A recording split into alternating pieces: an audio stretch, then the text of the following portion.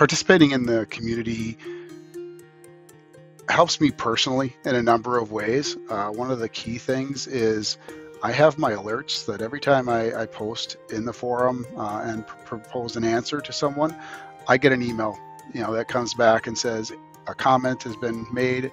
What I'd love to see is your answer has been accepted, and then the positive recognition of the feedback from the individual saying, "Hey, I spent hours on that. You saved me a ton of work. Thank you," or you know, "Thanks for the detailed explanation." Uh, you know, there's a lot of emails in the day that you have to go through and muddle through, but when you get to see those kind of emails, it brightens your day uh, and really kind of know help you know that you're making a difference. Uh, you know, helping people to learn this platform and uh, be productive.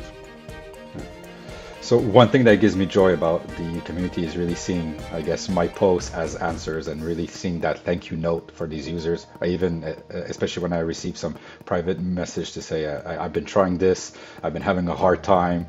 Uh, you know, it's been sometimes weeks, right? That users like, I can't get this working, and and and yeah, and just to see that, I guess I help them a bit, and uh, yeah, I think that's very rewarding, or or gives me a lot of joy. It's like an habit now this community. So when I wake up, the first thing that I do is to check my emails if there's any questions that has been asked. So I just go over the questions from my email and reply the ones that I can. And what is joyful also is to see that verified answer. And of course, every month I'm just looking at the community newsletter on where I am, if I'm in the first top 10 or so. So these three things is like really uh, enjoy of my life.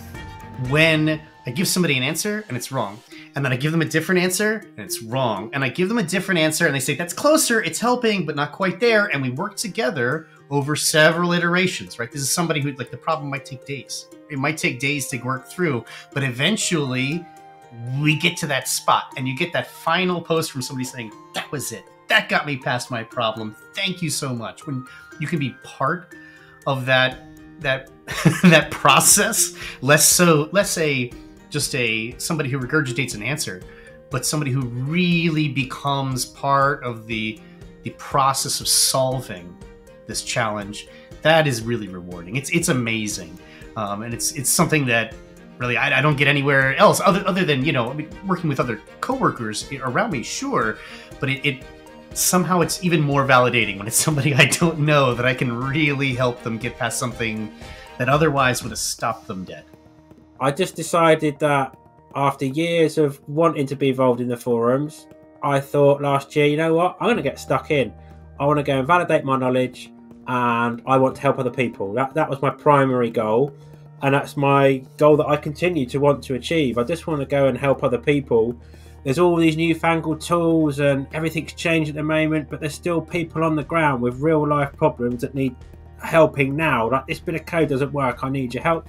So first and foremost, I just want to help people. I think the more people you help, a super user and other awards and, and acclaim just kind of just kind of come with it, don't they? Um, but I never really necessarily had the goal to be a super user. Um, my goal is just to help as many people as possible, and you know I'm lucky enough to be recognised for, for those contributions. But the most important uh, uh, things in the Microsoft community that uh, makes me happy to work with is that I have this possibility to learn and develop my expertise and at the same time, I have this possibility to share my knowledge and expertise to the others. I've got a bit of time on my hands. I'm semi-retired, um, and uh, I, I, feel if I if I jump on there and spend a couple of hours helping people, you know, I get to, to sit here and, and, and converse with people, and um, they get uh, hopefully some help.